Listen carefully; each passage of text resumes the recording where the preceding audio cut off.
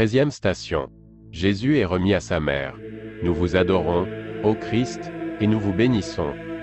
Parce que vous avez racheté le monde par votre sainte croix.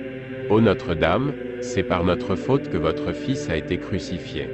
Mais dans votre cœur, aucune haine, aucun ressentiment, seulement l'infinie douleur d'une mère pour son fils et la soumission d'une fille à la volonté du Père. Merci, Marie, de nous aimer, au pied de la croix, d'un amour que nous ne pouvons comprendre. Notre Père, qui est aux cieux, que ton nom soit sanctifié. Que ton règne vienne, que ta volonté soit faite sur la terre comme au ciel. Donne-nous aujourd'hui notre pain de ce jour. Pardonne-nous nos offenses, comme nous pardonnons aussi à ceux qui nous ont offensés. Et ne nous laisse pas entrer en tentation mais délivre-nous du mal. Amen. Je vous salue Marie, pleine de grâce, le Seigneur est avec vous.